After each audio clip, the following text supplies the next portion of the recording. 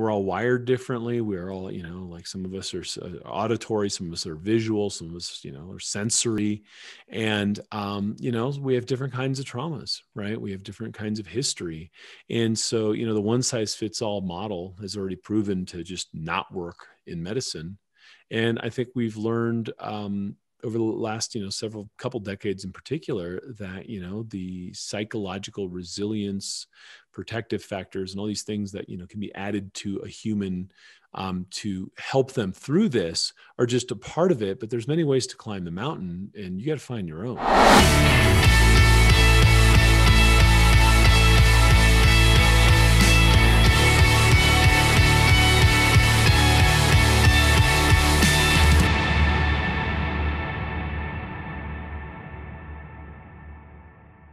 Hello and welcome to Real Men Feel. I am author, coach, and healer Andy Grant.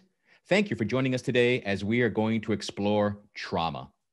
If you are feeling the draw to release and heal traumas that you've been carrying for far too long, I invite you to schedule a complimentary clarity call with me. Go to theandygrant.com slash talk while I still have a couple open slots for one-on-one work. Again, go to the, as in T-H-E, Andy Grant, me.com slash talk because you matter. My guest today is New York Times bestselling author, speaker, filmmaker, and co founder of Whole TV, Pedram Shojai. Pedram is a former Taoist monk, an accomplished doctor of Chinese medicine, and green activist who has lectured on wellness around the world. I discovered him thanks to his epic 10 part documentary on trauma. Pedram shares the biological history of men shutting down their emotions and leads us into a deep dive exploring trauma, resiliency, and denial. You'll hear great tips for what a guy who rolls his eyes at the notion of self love can do for himself, and hear what Pedram hopes can be humanity's quantum leap. Let's do it. Hello, Pedram. It is my pleasure to welcome you to Real Men Feel. Great to be here. I'm really excited for this. Um, and I'm just jump jump right into this what made you decide to do such an in-depth documentary on trauma? It's like the elephant in the room. And you know it, it, over the years it just became more and more clear to me how much trauma was kind of the fabric um, uh, on which the tapestry on which all of our kind of life's events were were happening. And you know as no one wants to talk about it. It's kind of this underlying thing right? But even in like you know kind of some of the most uh, you know simple clinical experiences it's like hey we just here's your mri here's your blood work we figured out what's wrong with you here's what you you know here's what you do to fix it and then self-sabotage and then they don't do it and then you know no no follow through it's like yo what? And then you know nine times out of ten there was some underlying trauma. It's like you know what? They don't actually want to heal because that would mean having more energy and their signal coming up which means then they got to feel more right? And so we live in a culture that anesthetizes because we move away from pain. Mm. and you know it just became abundantly clear to me that trauma was something that just needed the spotlight. There are so many definitions of trauma. Do, do you have a, a favorite one or one that you're most easily shareable? I mean look any event that had a psycho emotional spiritual imprint that um, you know stayed with you um, having some sort of reaction or aversion to something that was too much too high in magnitude for you to deal with at the time. So you you know you brush it under the rug and you you know you come back one day when you're taller smarter wealthier stronger to deal with it. But you know look you roll into the future and the punches keep coming. So it's really hard to go backward. It really is. Now i find that most men when I was growing up and even now are, are hesitant to get help, even for the big, obvious phys- physical pain, uh, let alone depression, PTSD, more, more the unseen pains. So, how can men better appreciate and become aware of all the smaller traumas that are affecting their lives? Well, I mean, just think about the the tape that's running through your head. Think about the ongoing themes, the the the dramas and the challenges you have at work, the problems you have with your wife. I mean, all these things are telltale indicators that there's something underneath that's kind of emanating this signal. Um, but we're just not, you know, we're to, we're we're taught to cut and move forward. We're taught to, you know, suppress the feelings so that we can push on in life. And, you know, look, that works well in a battlefield. You and I are charging the enemy. I take a bullet, I fall down. You're to sit there and cry over me. You're going to take the next bullet. You got to fight. Right. Um, but then there's a, a, a period of mourning and a period of reconciliation with that that needs to happen. Um, and most men don't get that right? Most men don't allow themselves to go and, and come full circle and heal. It's not part of our culture, um, and it's led to uh, a lot of aberrant psychological issues, hasn't it? Yeah. So, is is one of the core issues that we're really treating life like it's a fight, like it's war. I mean, well, it's it's kind of what we know. I mean, you know, the, for better or for worse, and you know, I don't, I don't, even know what political correctness is anymore. But you know, we we grew up in this hunter gatherer forager um, tribal uh, thing, where you know um, and you go back to some of the anthropological kind of studies on this it's like you know we'd all be traveling together in a pack and then one week out of the year the predators uh, would come and attack us and the, um, the animals knew that we were coming and you know we quickly figured out it was because the females in the tribe were bleeding right? So it's like oh shit this is this is a liability this is a thing right? So how about this? For this week why don't y'all just sit by the river and like have the kids gather nuts and stuff while we go out and hunt um, to keep everyone safe and you know just just a, a, real biological division of labor. And then fast forward you know a few thousand years of that happening it's just like hey how about you guys just stay by the river and keep the noisy kids with you and we'll go you know bring back bring back some meat. And so there were evolutionary bifurcations in the way we started to adapt and and and feel. Like you got time to sit around and talk about emotions and talk things through and and feel it and emote it. And it's like you know you you have tribe there. You could talk you could do things. And you're on a hunt. You can't even talk. And you know guy goes down um, you got to keep fighting right? And so it created a separation. Now you know the world's changed and you know things are kind of you know getting coming back together and changing in ways that are frankly unpredictable at this point. But I think that we would be remiss not talking about the kind of evolutionary trajectory of kind of the male female tribal dynamics that got us here. And now, yeah, I mean, look, do what you want and be who you want and all that. But, you know, there's millions of years of biological tendencies that allowed, um, or not allowed, I don't think allowed is even the right word, that, that, that forced men to become more uh, succinct and uh, capable of cutting their emotions. And in doing so, you know there were there were tried and true methodologies. You come back you sit with the shaman you come back you mourn you do all these things to reintegrate. And so we threw the baby out with the bathwater. So we learned how to cut the emotions and we left none of the ritual or any of the things that were designed to capture that state and bring it back bring us back into wholeness and healing. And now it's all stiff upper lip all day every day right? Yeah. It just doesn't work. Yeah. That's that's something one i think I, I mean so many men that can we'll say you know the past is the past no use complaining you know soldier on all that sort of stuff and they seem to function well. So is that resilience uh, denial or, or, or, both? I mean look uh, you know being a being a clinician and a doctor for so long there's always the wife that dragged that dude in when his heart started banging too hard. You know, the guys guys have you know higher incidence of heart attacks and hypertension and all those types of things because they internalize it, right? Um, you know, they're they're likely to go towards alcoholic tendencies, using some sort of sedatives, doing some sort of aberrant behavior. You know, cheating on their wife, whatever it is, as a stress relief mechanism that isn't necessarily wholesome because they are you know pretending to be this tank that you know has bulletproof armor right it's just it's it's just a false narrative and it's not fair to our boys so is the notion not even the notion the reality of kind of the unfeeling man the man that is separated from his emotions are we victims of, of our biology and evolution yeah, I mean, listen, I think there's sociology. I think that the biology and the evolutionary pathways that cut off, there's actually chemicals that get secreted. Um, I think only for men uh, in in utero that um, start to trim some of the neuronal connections um, for kind of emotional um, late, uh, latency, if you will. And so the limbic system develops differently.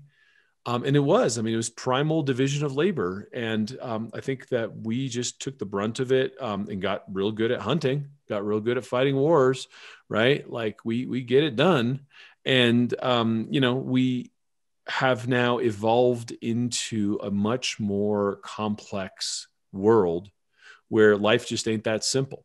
I wash dishes with my wife every night. You know, like you know, uh, there's there's things like there's no division of labor on the home front, and you know, we're we're we're trying to all kind of you know figure out this new normal, and I think it's wonderful. So I don't want to be you know I don't want to be dismissive of the fact that you know things have changed and that's cool, but not looking back at how we got here, I think is, is stupid, right? Like we were different. We did it differently mostly you know most tribes most cultures did it differently between men and women. It was a division of labor and we kind of evolved uh, you know down our own kind of forks. So is, is this same notion of always on the hunt always on the fight. Is, is that what's behind so many men being resistant to, to ask for help to say i'm hurting yeah. Yeah because i mean look the show must go on and if i slow down then i got to admit a lot of things. Right? I got all sorts of stuff that happened, right? You know, whether it's bullies from the schoolyard, whether it was, you know, losing your job, whether, it, you know, whatever it was, you know, we've buried it for so long that it's just, it's too, it feels like it's insurmountable to even, you know, turn around and address that. So we just move forward, right? We move away from it. So if our biological drive, our ancestry, everything that brought us up to this day in our life says just keep going forward, shut it down, don't feel. examining our wounds will be even more painful, so I'm not going to do that. Is it is it really at the point that we have to hit that proverbial rock bottom, each individual, uh, in order to to get help? No, but for most of us, we're numbskulls, right? um, you know i mean you know there's there's a lot of merit in listening to the wisdom of elder elders there's a lot of merit in reading books and being like oh shit i do that maybe i shouldn't right um, but we're numbskulls like we're so caught up in our world we're so caught up in like the guy i need to be for my family and you know the breadwinner and all these kind of narratives that keep us bound to uh, a storefront that we have to uphold at any cost that that just seems like a frivolous pursuit doesn't it yeah. You know, one thing I really liked most of, of your 10 part documentary on trauma was how many options for healing, how many opportunities, how many, how many different paths there were. But I've, I've met lots of people that will, they'll find something that works for them and they be, be kind of pissy if everyone else doesn't get the same results or better by doing that same thing.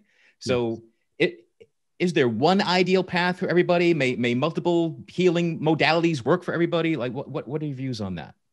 I mean, look, whatever works for you, that's that's your thing right? And er, we're all different we're all wired differently we're all you know like some of us are uh, auditory some of us are visual some of us you know are sensory. And um, you know we have different kinds of traumas right? We have different kinds of history. And so you know the one size fits all model has already proven to just not work in medicine.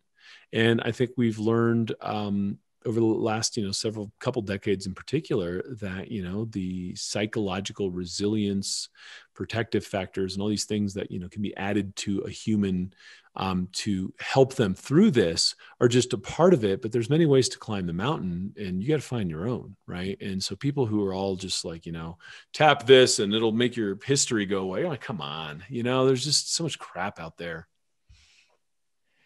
Has it always been easy for you to to ask for help, receive help?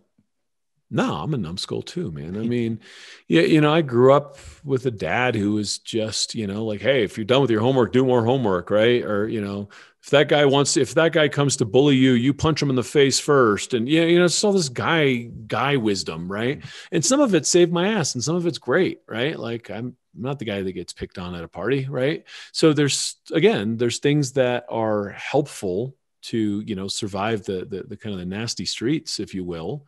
And there's things that you know develop you into a brute and make you less capable of of you know feeling things and understanding what you're feeling. And that becomes a real bad downward spiral which you know there are very clear cut you know ways of anesthetizing that. I mean coors light is on your tv every day trying to tell you that that's the way out right like there's so many ways to culturally escape without looking like you know, pardon my expressions, like if you're soft, you're a faggot or you're gay or, you know, all these weird colloquialisms that come from homophobia and just all sorts of shit. Right. And you're like, well, I don't want to be that. Right. And it's, it's, it's all just nonsense, but, you know, it's just kicked down generation or generation. What would it take to, to end that? Or are, are we ended? Do you see it getting better or is it just still shit's flowing downhill? No, it's getting better. And it's also, you know, you see, you saw it in the political cycles this last round. I mean, people are kind of digging in their heels, and people who have resisted feeling are certainly not interested in feeling it all now, right? Um, I'm seeing some real serious, significant cracks in the concrete um, with some of the somatic therapies, the psychedelic assisted psychotherapies. Uh, you know, I think the narrative is opening up, but I think the pendulum is swinging real hard. I can't keep up with all the pronouns and I can't keep up with all the fucking Nazis. You know what I mean? Like, it's just like there's a middle and right now the pendulum is just swinging so hard that it's just it's hard to relax everyone's mad yeah yeah do you, do you see the pendulum swings as kind of generational or, or might we find balance in our time? Question of the hour, ain't it?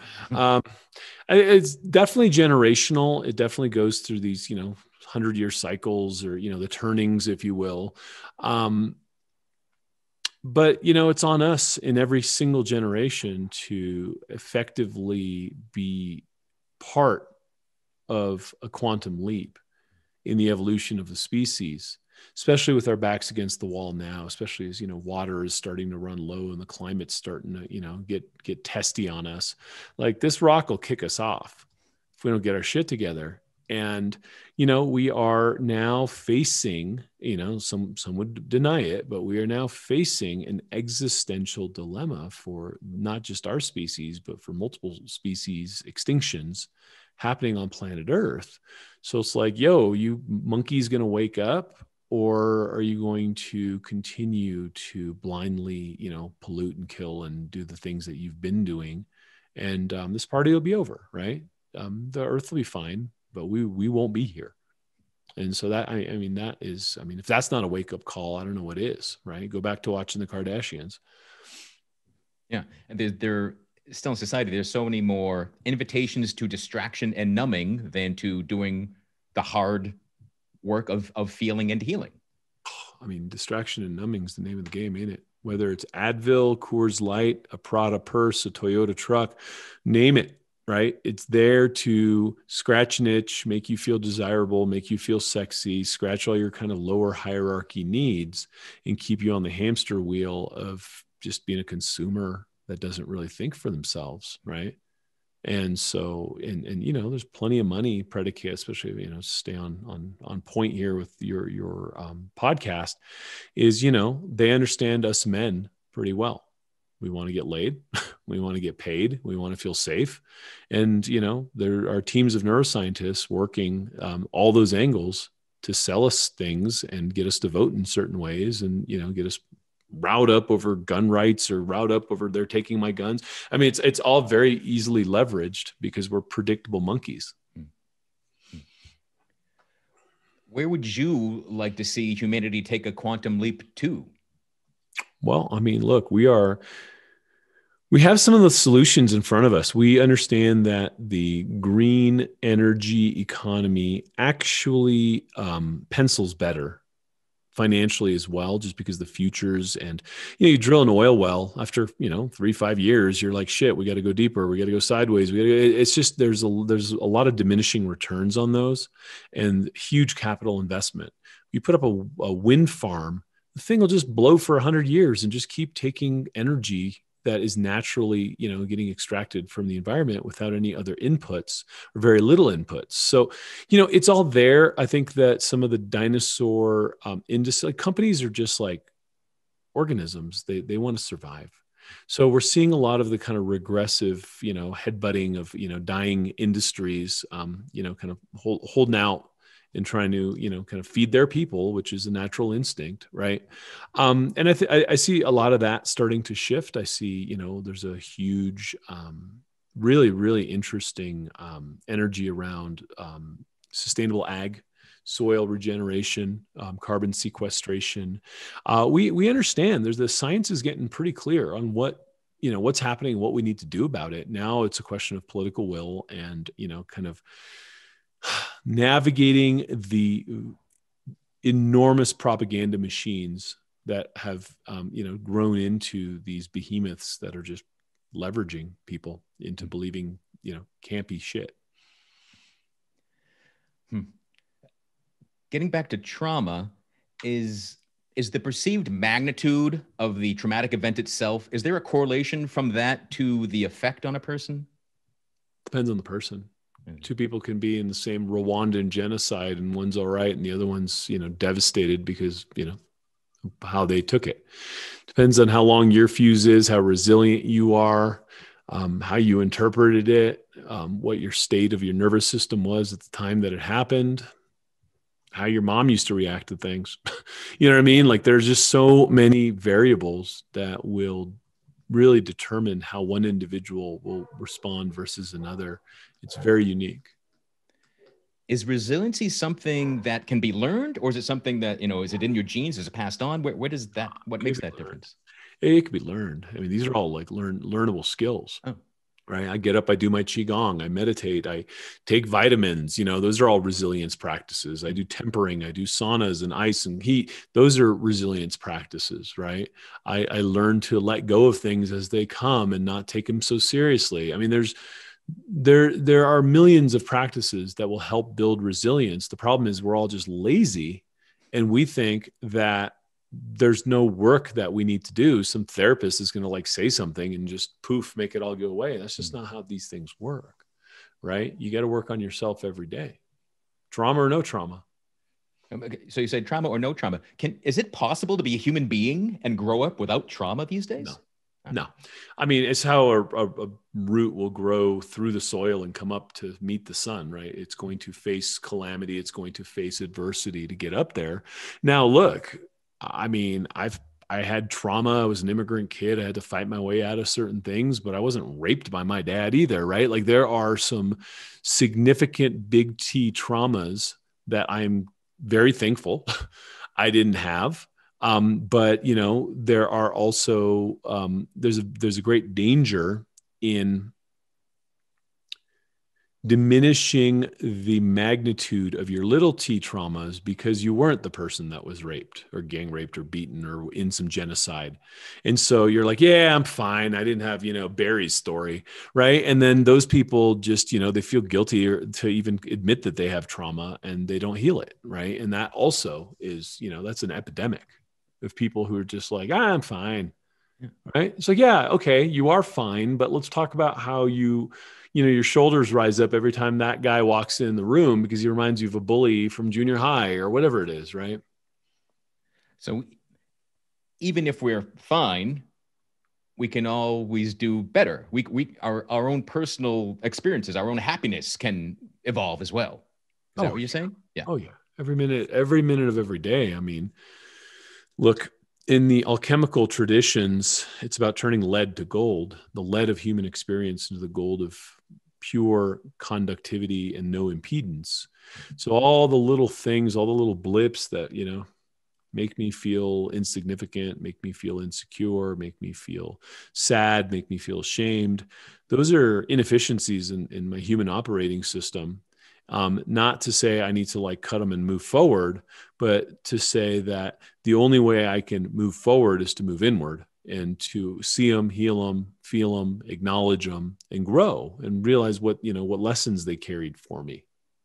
So, so in that sense, there really is an upside to trauma. Oh yeah, it's. I mean, it's a great teacher. Yeah. Trauma is a great teacher. I mean, when it's happening, it sucks, right? I don't know anyone who's like you know getting beat up in a back alley or something, saying, "Oh, this is such a great experience for me," right? But most of the people and i've you know we interviewed so many people for the for the series. I mean, they all. I, there wasn't a single one that said, "Listen, um, you know, on the other side of this, in hindsight, it's the greatest thing that ever happened to me because it gave me strength, it gave me resilience, it gave me, you know, whatever it was." I mean, these are the people that are obviously, you know, that we're interviewing who are on the other side of it and have right. worked through it. You yeah. know, and yeah. then, you know, there's also a guy that just went through a bottle of gin, you know, yelling at his wife, you know, blaming her for, you know, all the problems in the world. right. And, and that guy, that guy needs that medicine, the real medicine. Right. Yeah. Hmm. Yeah. I find, again, from my own life and the evolution of my happiness, it was a big shift when I stopped blaming everybody and realized it wasn't my fault, but I could take responsibility to make changes, not just blame and expect others to do so. Hmm. Hmm. Yeah. So, I mean, it starts with you, it ends with you. But you know, if you're blaming other people for your, you know, calamities, chances are there's some underlying trauma that you're just not willing to look at. Yeah. And often it's often been said to me, you know, growing up and going through troubles and shit that, uh, you know, there's there's a gift in your shit. But as you're saying, when when you're middle of the shit, it's hard to go, oh, oh, look at all these great gifts I'll figure out someday. Like that's not the normal yeah. human experience of it. Yeah, it's just it's not even a tenable position. It's like anyone who says they're enjoying the trauma when it's happening is either lying or you know got Stockholm syndrome or something, mm-hmm. right? Like that's not that's not how it works. But learning that this too shall pass and learning that you know this is coming at you for a reason and learning what to do about it and and and how to roll with it makes you better and better at this kind of like you know interface of life. And look i mean I, I, would have it no other way right? Like my personality my my my operating system is all really kind of predicated around a kid who had to fend for himself and find a way and outsmart and you know all these things that then gave me edge as an adult and as you know a multimillionaire film producer and all the things that came from all that calamity right? I mean thanks. Didn't feel it at the time but thanks right? Yeah. So if you, if you kind of like imagine that uh that universal bank account being filled up as you're dealing with your horrible pain and shit and and struggling with uh, resilience and and hitting resistance of life. Maybe you know maybe that's a, a way to look yeah, at it. Yeah. well and it's also the west has a very skewed relationship with it. The the literal so i'm a martial artist. I've been you know fighting my whole life and i'm you know i'm so good at it. I'm never afraid of the other guy now. I'm just afraid of what i what i would do. I don't like conflict because i know what to do there right? Hmm. and the literal translation of kung fu is hard work. And so if I go to another martial artist and I'm just like, hey, how's your kung fu? It's not like, hey, how many guys did you beat up last week? It's how are you interfacing with life? Are you rolling with the punches and blocking and parrying and, and, and standing your ground, or is life kicking you in the ass and knocking you in the chin? Right. And so learning to understand that life itself is kung fu and that you it, it is training to make you stronger better faster more resilient and more bulletproof versus saying oh my god punches right? It's like yeah i know how to block punches. I know how to block kicks and i know how to not anticipate whether it's a block or a, a punch or a kick because sometimes the guy's going to try to tackle you and and that's that's how life works right? And and so learning to shift that interface of like you know blame and and self-pity and all the bullshit that you know gets us you know in in these weird cycles of sorrow and and you know just ridiculousness here in the west that's just not even part of the operating system in kind of the monastic training that I had. And it really took a while for me to kind of shift out of it hmm. because I grew up here. You know what I mean? I grew up I grew up in this traumatized culture that has been addicted to anesthetics. You know, I, often say that silence kills men. And that's a big point of the conversations I have on, on Real Men Feel is to kind of break down that silence. But, you know, going back to uh, the hunter gatherers and we're out on the hunt, and yeah, we, men must be quiet and move with stealth.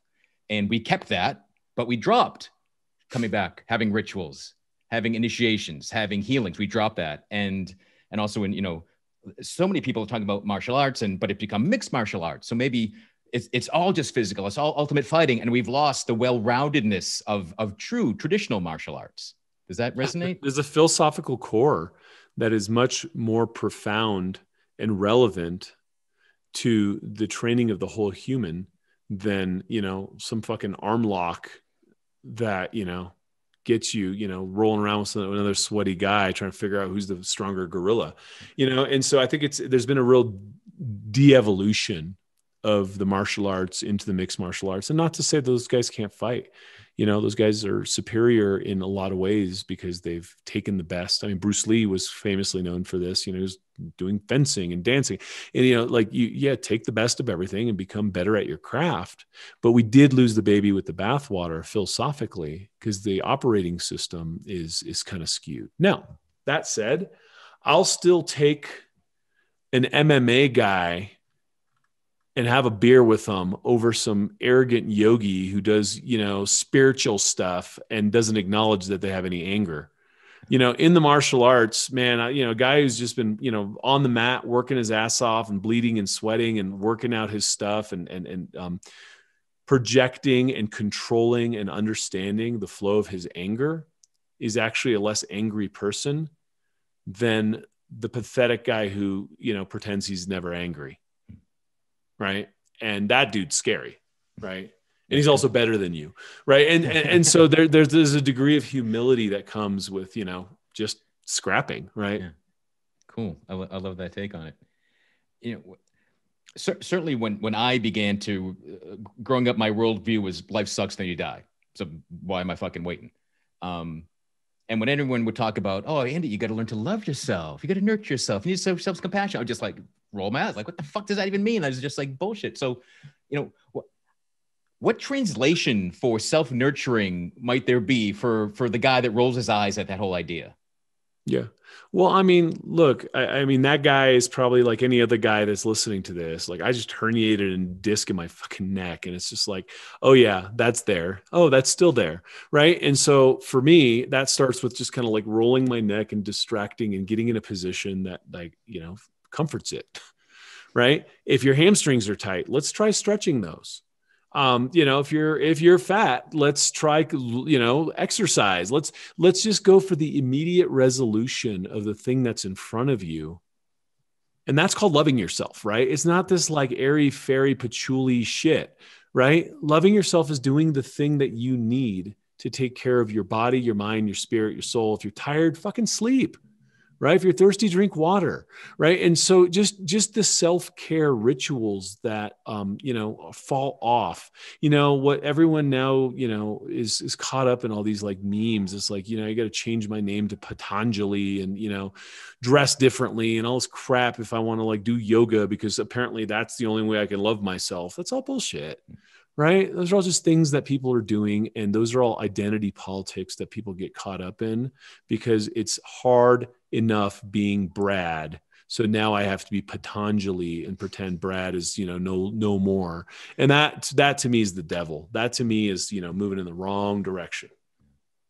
Cool. So it sounds like a, you know, a, a simplest basic way to, to look at self-love, compassion for yourself, do what you like, like do what feels good to you. That's self-care. Yeah. But I mean, yeah, shy I mean, of addictions and dangerous, you know, whatever. Sure, sure. There are circuits that you don't want to trigger, and you know, go down that road um, because it's hard to come back. Obviously, you know, coming back from addictive circuitry is it's work. Um, that too is a lesson, but you know, it's one one that I don't recommend for most. But yeah, I mean, what do you need? Is your back hurting when you're sitting there? Sit up straight. Um, you know, if if if you can't run, figure out why. Stretch your hip flexors um, you know if you if you really really like surfing and you don't get around to it figure what figure out a way to surf more often right?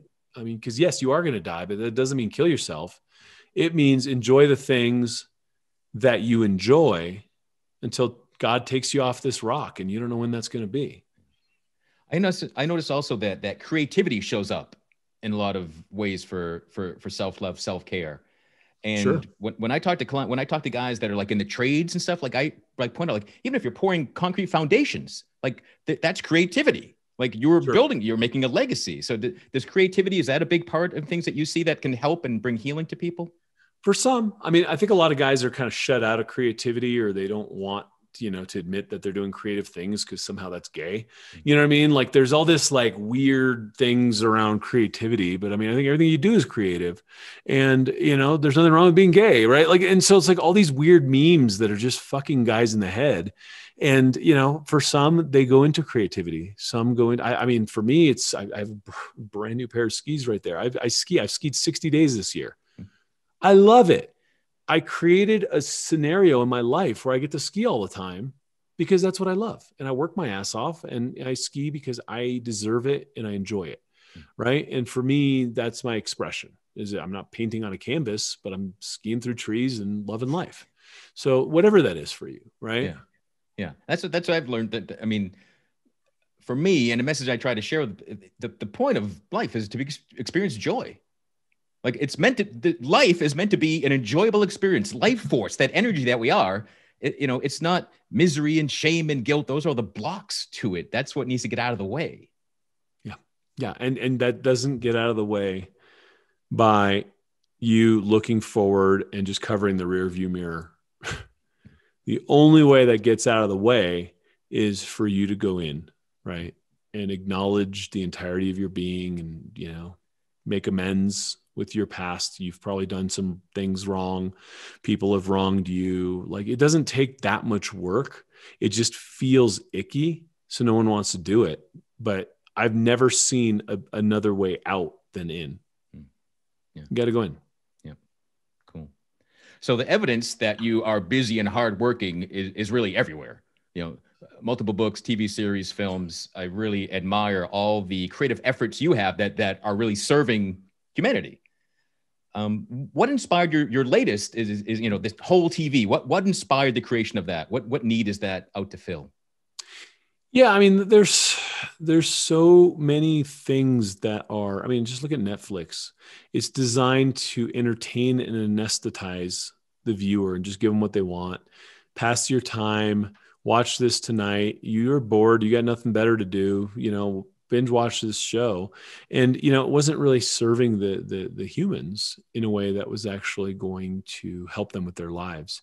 And so what we did is instead of going wide we went really deep and you know just went into all the solutions um, very specific solutions for problems that people have and myriad problems obviously because the, the the network is it's growing and it's big and it's doing cool things but you know there's brain health there's gut health there's all these areas where people are just messed up trauma you know? We did the most comprehensive series ever done on trauma right? Why? Because people who have trauma most of them can't even afford a therapist right? So how can i help the masses?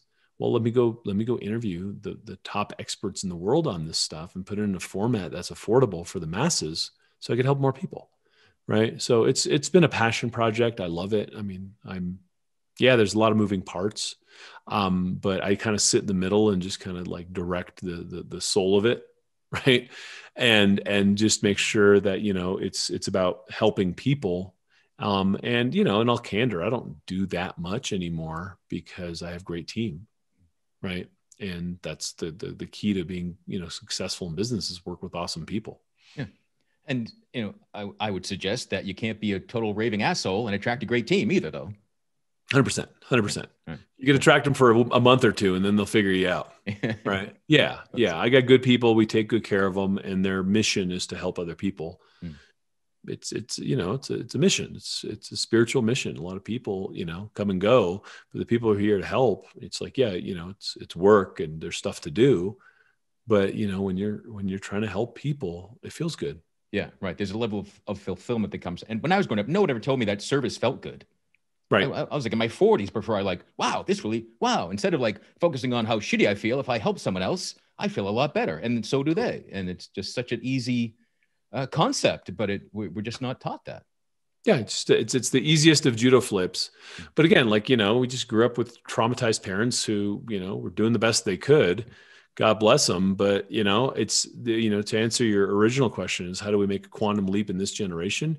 That quantum leap has to happen here in you as an individual as me as an individual so that you know i'm less of a dick to my son and my daughter right and and and you know start to fix it generationally going forward so pedram what's the best way that people can uh, find out everything that you're up to follow you track you down Yeah, theurbanmonk.com or whole.tv, W H O L E.tv. So all my personal development book stuff is on the Urban Monk side, and then my um, film TV stuff is on Whole TV.